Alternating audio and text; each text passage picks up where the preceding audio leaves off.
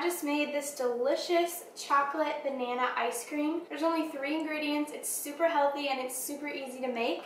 So if you guys want to watch how to make it, then just stay tuned and let's get going.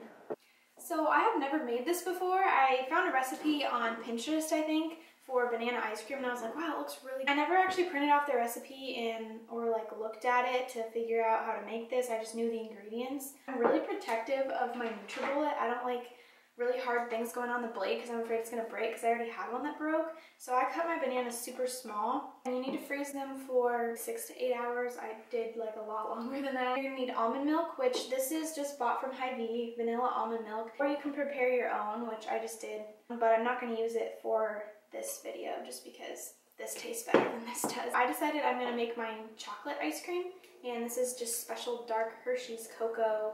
I don't know, we're just gonna try it. I'll link the recipe down below so you can follow that and get the right recipe if you want, but I'm just gonna kind of make mine up as I go. All right, let's just get started. We're gonna do it all. And I don't have a measurement, so I'm just gonna start pouring. I think I should probably not do very much. So it looks like I put, I don't know, maybe I don't know, one third of a cup, maybe, I don't know. The blade wasn't moving, so I think I'm gonna have to add a little bit more almond milk. I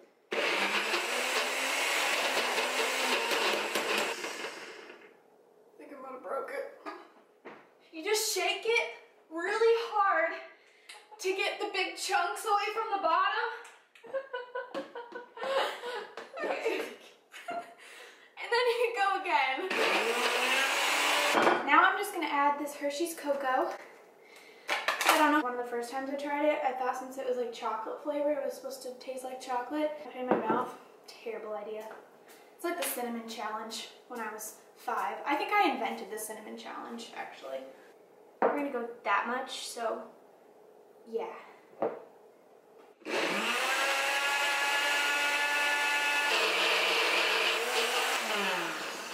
Oh, looks pretty, pretty good to me.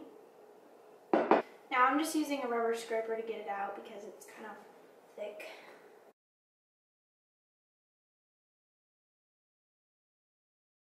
Now let's try our delectable ice cream.